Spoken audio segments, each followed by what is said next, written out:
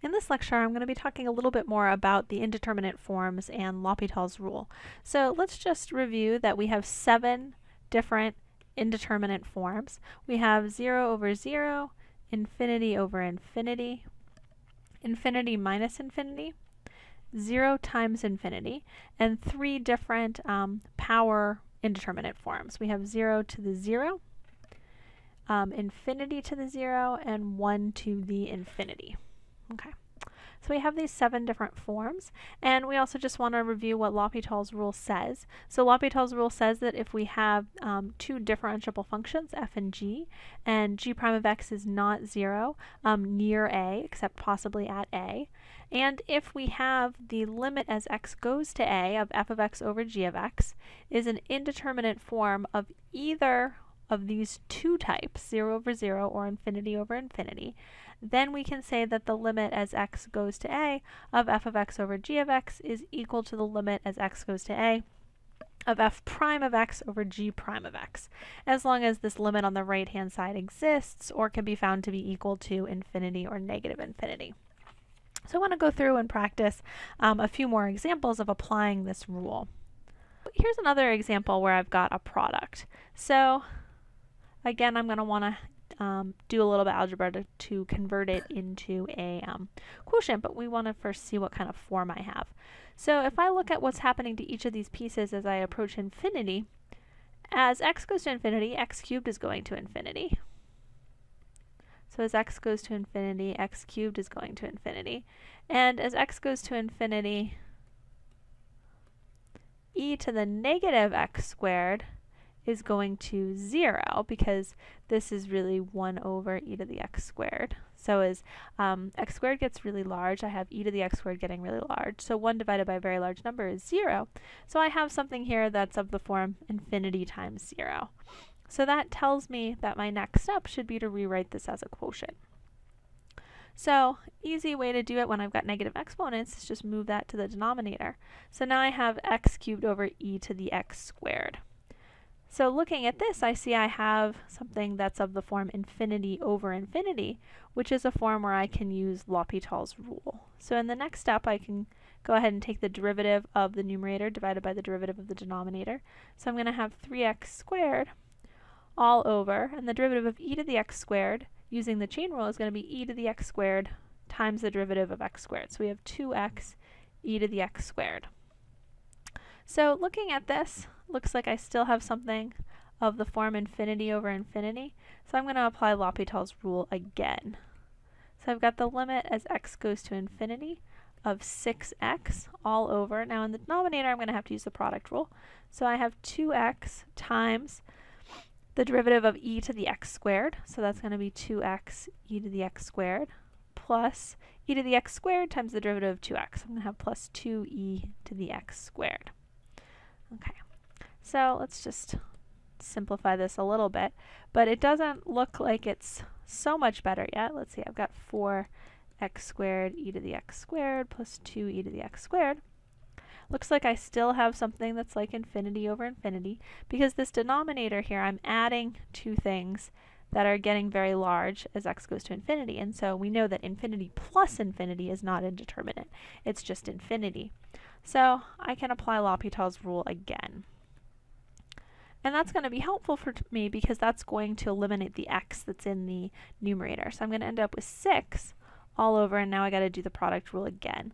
So I have 4x squared times the derivative of e to the x squared, which is 2x e to the x squared, plus e to the x squared times the, the derivative of 4x squared, which is 8x, then I would have plus 2 e to the x squared times 2x. So there's a whole bunch of terms in that denominator. So let's just go ahead and rewrite this. I've got 6 all over, let's see, this is 8x cubed e to the x squared plus 8x e to the x squared plus 4x e to the x squared. Okay.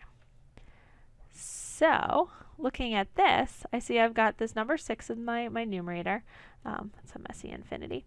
In the denominator, I've got something going to infinity, plus something going to infinity, plus something going to infinity.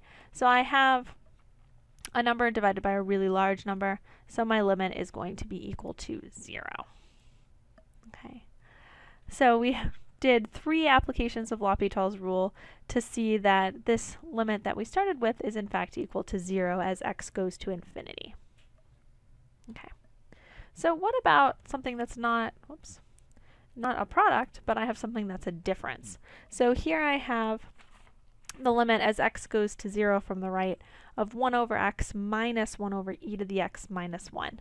Notice that the minus 1 is not in the in the power, but it's e to the x and then minus the number 1. Okay, so I have a difference here. So I'm going to have to do some work to turn that difference into something that is a product or a quotient, if what I have here is an indeterminate form. So we look at this and we see that 1 over a small positive number is going to give me infinity. And then here I'd have, that's like e to the 0, so that's something like 1. So I'm going to have, again, a small positive number because I'm going to 0 from the right, so something a little bit bigger than 0. So I'm going to have something just a little bit bigger than 1 in e to that small positive number. So I'm going to have a small positive number. So I'm going to end up with um, infinity in, for this second limit as well. So I have something that's this indeterminate form of infinity minus infinity. So that tells me that I'm going to have to do some algebra and try to re uh, rewrite this. So one thing that could be helpful when we've got fractions is try to get a common denominator. So I've got e to the x minus 1. I multiply the, the first one by e to the x minus 1 over e to the x minus 1, and the second one by x over x. I'm going to have that minus x all over x times e to the x minus 1. So I take a look at this and try to see what kind of form I have now. So if I plug in 0, I've got like 1 minus 1, so that's 0. Minus 0 is 0. Okay, so the numerator is 0. If I plug in 0 in the denominator, I'm also going to get 0. So I've got something of the form 0 over 0. So that means that I can now apply L'Hopital's rule. So this is going to be equal to the limit as x goes to 0 from the right of e to the x minus 1 all over, and then I'm going to have to use the product rule. So I've got x times the derivative of e to the x minus 1, which is e to the x, plus e to the x minus 1 times 1. Okay. So looking at this, I try to see what kind of form I have. So if I plug in 0, e to the 0 is 1, so I'd have 1 minus 1, which is 0. And in the denominator, this first term would be 0 if I plugged in 0. e to the 0 would be 1. So again, I have 0 um, over 0. So I'm going to try to apply L'Hopital's rule again. That seems like it could be helpful because when I take the derivative of e to the x minus 1, the 1's going to go away and I'm just going to be left with e to the x. And I know at least when I plug 0 in for e to the x, that's not going to give me 0. Okay, so we just have to look at doing a, a product rule for part of our denominator. So we're going to have x times e to the x plus e to the x plus e to the x. So the first two terms are from doing our product rule, and then e to the x is the derivative of e to the x. So now we see if we can plug in. Well, if I plug in 0 here, e to the 0 is 1. Uh, let's see, this first term is going to be 0, but e to the 0 and e to the 0 are each 1, so it's going to be 1 half. So our final limit in this example ends up being 1 half. So notice that our, our process is taking um, the difference here, turning it into a quotient, and then trying to apply L'Hopital's rule. Okay, so let's look at another example with a, a difference, then we'll look at a couple of power examples. So here I have the limit as x goes to infinity of x minus ln x. If I try to plug in infinity here, I have something like infinity minus infinity. And it's not immediately clear how I can maybe combine these. So I have to think a little bit about something that might be helpful. Um, you might think about doing a conjugate, multiplying by x plus ln x over x plus ln x, but that doesn't end up being um, helpful in this case. We'll see some other examples where maybe a conjugate will be helpful, but not always with L'Hopital's rule. Sometimes we'll have to go back and use um, earlier techniques in, in um, examples with square roots. So what else could I do here? Well, one thing that turns out to be helpful is to make use of some log properties. So remember, we know that the log of A minus the log of B is equal to the log of A over B. So if x here was in the form of some kind of log, then maybe I could combine this into a single term. Well, remember that we've used e to the ln x equals x. We also know that the natural log of e to the x equals x. So I could rewrite that x as the natural log of e to the x. So now I have the natural log of e to the x minus the natural log of x. So now I can combine that natural log of e to the x minus the natural log of x as the natural log of e to the x all over x. And now using some things about continuity, I can bring that limit inside. So I've got the natural log of the limit as x goes to infinity of e to the x over x. Okay, so we look, take a look at this and we see that what's inside is this indeterminate form of infinity over infinity. So here our indeterminate or form um, refers in particular to our limit. So this is, can be now the natural log, excuse me, of the limit as x goes to infinity of e to the x all over 1. Okay, so what's going on here? Well, as x goes to infinity, e to the x is going to infinity. So what's happening to the natural log if the um, inside part is going to infinity? Well, it's just going to infinity. So we get that this limit is equal to infinity.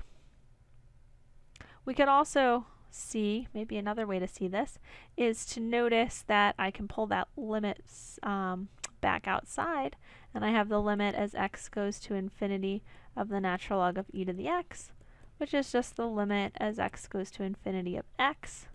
So that's another easy way to see that that limit is just going to be equal to infinity. So that was a little trick using our um, logs. So sometimes we just have to do some factoring or um, let's see, in the previous one we had to combine fractions. Here we had to make use of these log rules. But somehow we're trying to turn a difference into a quotient. Okay. So what about these powers? So we mentioned a little bit about how we were going to do these problems. So we want to work through an example. So here I have x to the power of the square root of x. So the indeterminate form that I have is 0 to the 0. Since x is going to 0, root x is also going to 0. So I want to think about using what I know about the relationship between e and the natural log to help me rewrite this. So this is e to the log of x to the root x.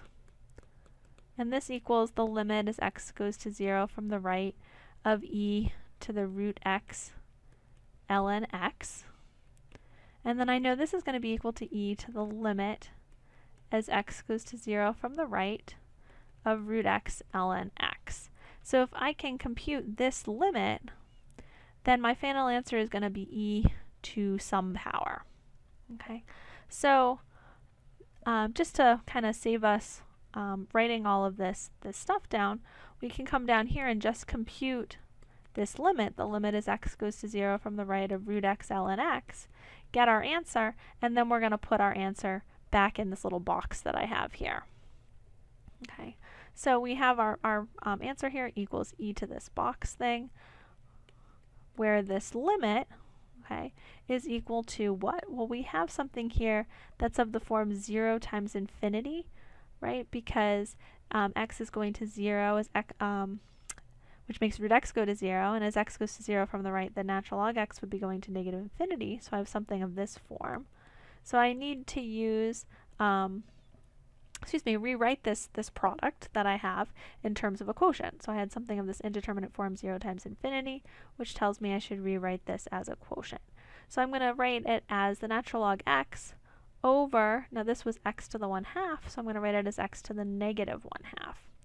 And then observe what kind of form I have. Well, now I have something like infinity over infinity, because this x to the negative 1 half I could also think of as the limit let's see, x goes to 0 from the right of the natural log x over 1 over x to the 1 half. So I have 1 divided by a small positive number, so that's going to be going to infinity.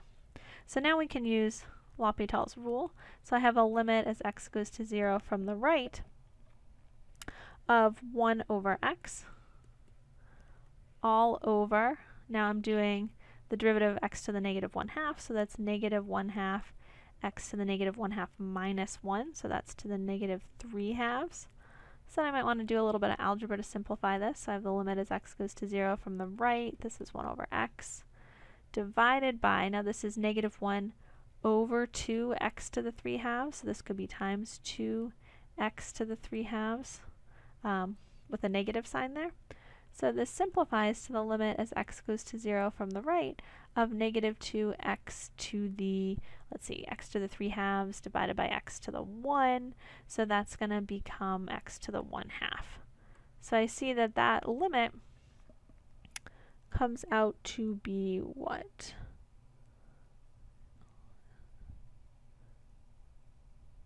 This is 0. Okay.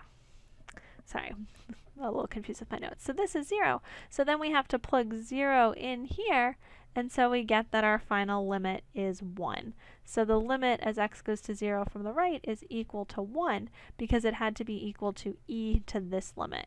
So we took this problem that we had to solve reduced it to having to just find this limit piece. So that's what we did here.